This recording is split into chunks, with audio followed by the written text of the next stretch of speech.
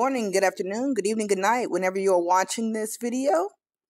Good day to you and thank you for watching. Okay, today is an update of a video I made last night in my Don't Move to Dallas series. And I just want to clarify a couple of things. In my Don't Move to Dallas series, I find quick little stories from Instagram and make two to three minute videos of reasons why you shouldn't come to this wretched city known as Dallas. I had, and when I realized how serious the story was, I had planned on doing a more in depth follow up story. In my defense, the Jack Daniels Apple and Coke Zero won. So I didn't get to do the updated story I had planned on doing. So, you know, blame it on the a- a- a- alcohol.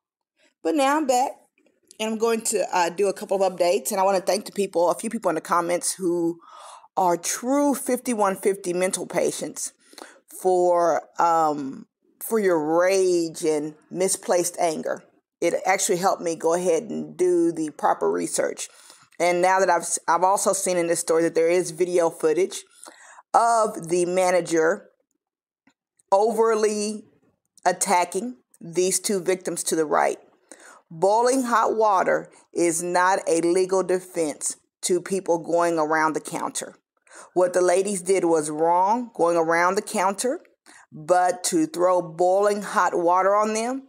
And as they ran away, she got more hot water and attacked them. So the villain in this story is definitely the Taco Bell manager. And by default, the victims are the two young ladies who were viciously attacked by boiling water. And she will be criminally charged. That's just me off the cuff saying that before I actually read the um, the news article, which somebody pointed out to me. Did I even research? No, not really. I read um, a story off of Instagram that was related to Dallas, like I do in my "Don't Move to Dallas" series. I I do not understand why people. Let me stop. Let me go ahead and read the story. Two Dallas customers say they were they sustained serious burns when a manager at a Dallas store poured scalding water on them as they complained about an incomplete order. A lawsuit claims. The lawsuit claims this. There's also video footage, which I will show in the middle of this, but this there is now a lawsuit. The lawsuit against the restaurant chain Taco Bell, publicized Tuesday by one of the attorneys for the plaintiffs, civil rights lawyer Ben Crump. Ben Crump does not take cases that, well, let me read further. If you want to know more about Ben Crump, look him up. These ladies have a legitimate case, is what I'll say. But anyway, let me keep going.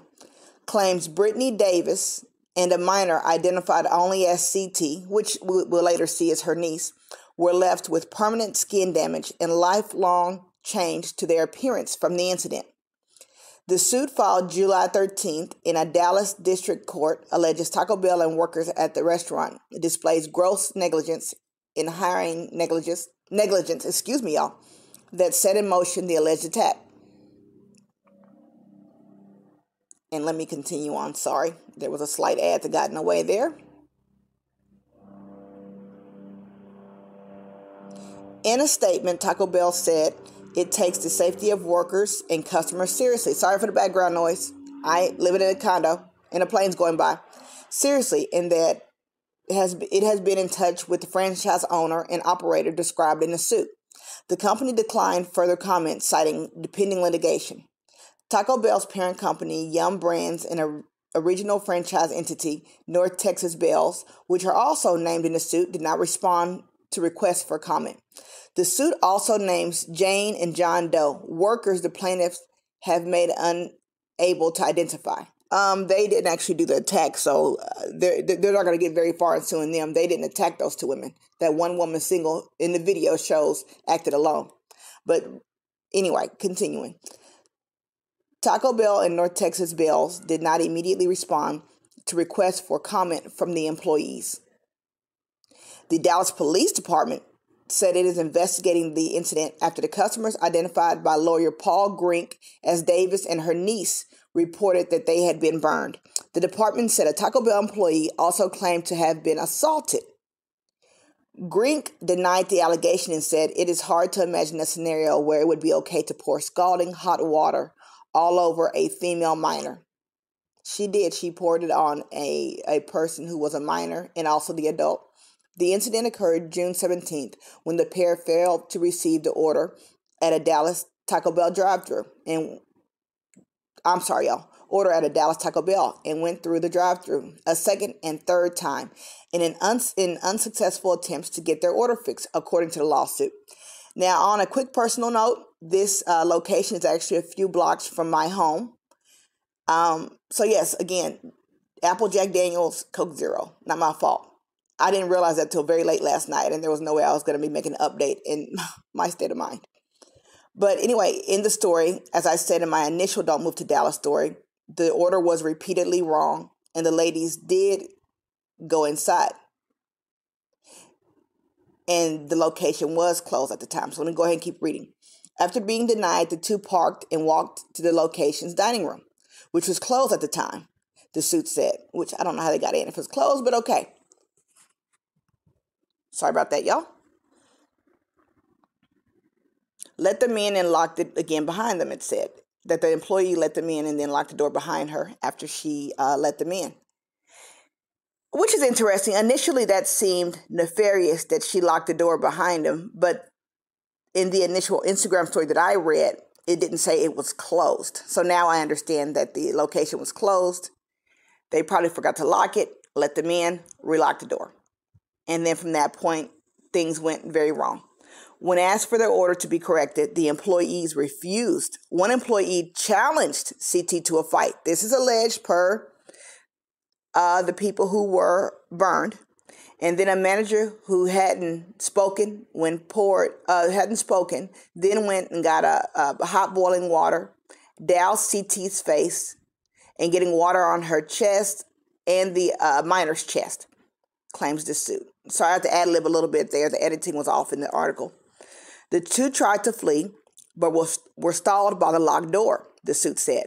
By then, the manager had returned with a second bucket of water, but they escaped before the second attack.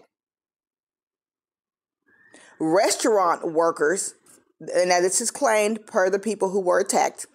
I don't believe we see this on camera. I've researched that part. We, I don't, I have not seen where that's on camera where they followed them out in the parking lot. But it's alleged restaurant workers followed the injured pair outdoors, laughed, taunted, and clapped at them before they could drive away, the filing claims.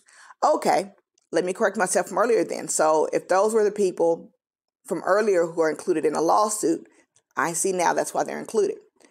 Family members rushed Davis and CT to a hospital where some of Davis's skin came off with her clothes, and she was treated and ended up with deep burns to her chest and stomach, the suit said.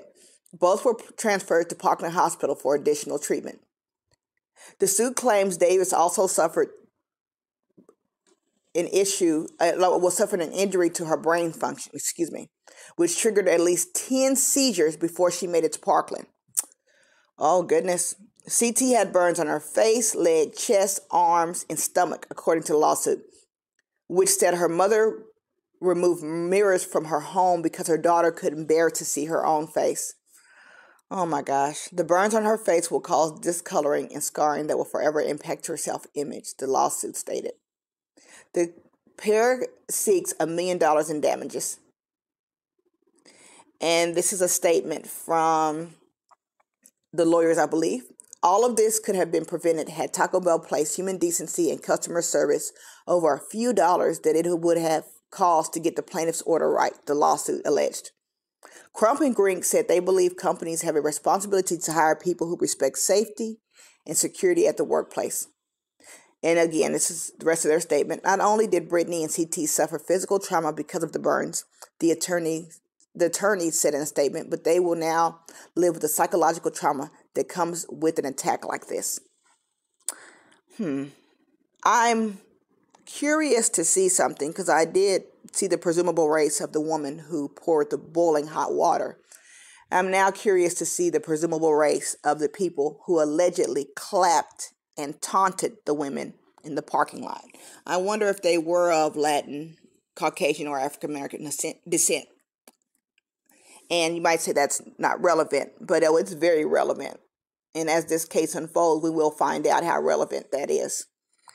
But um, I'm going to end the video with the footage from the vicious attack by the manager.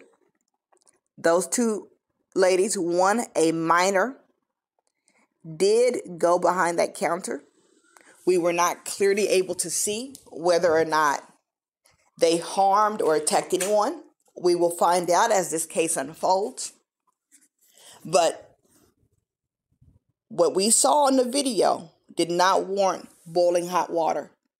That's one charge for that manager. The second more vi- the second more serious charge for the manager will come in the form of her getting that second pot of boiling water.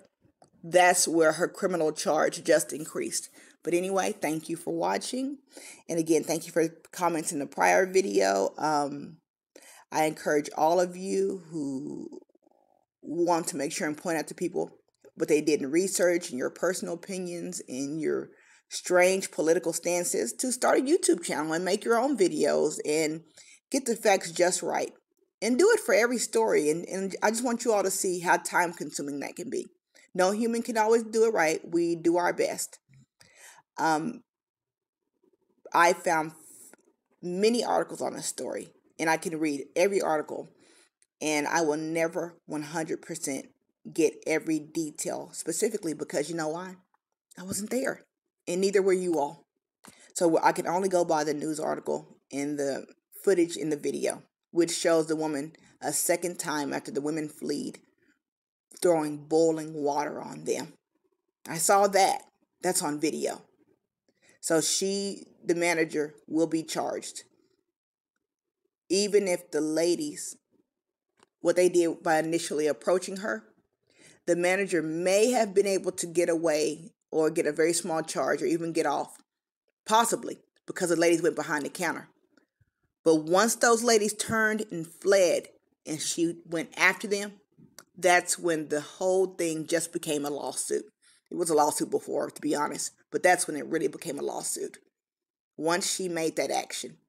And she will be sued personally on top of Taco Bell. She's in a lot of trouble. But anyway, here's the film footage. Thank you for watching. Bye.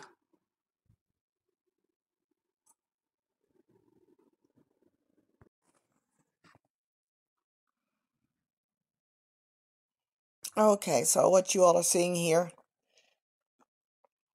is the two ladies on the other side of the counter where they should be. And then you will see them slowly around behind the counter, which at that point the boiling water is thrown on them. The manager is still going to be criminally charged, though, even though you all think those two ladies are justified, or even though you all think, some of y'all think the manager is justified, the law works a certain kind of way.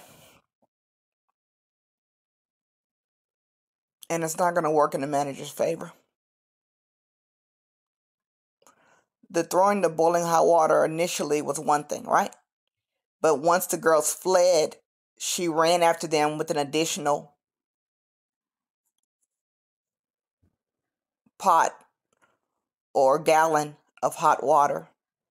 That's when her criminal charges just so you see them running? They run away from her. She runs after them to throw more boiling water on them she's going to be criminally charged for that. So i don't know what planet y'all live on but she will be criminally charged for that. That first one is one thing. The second one yeah.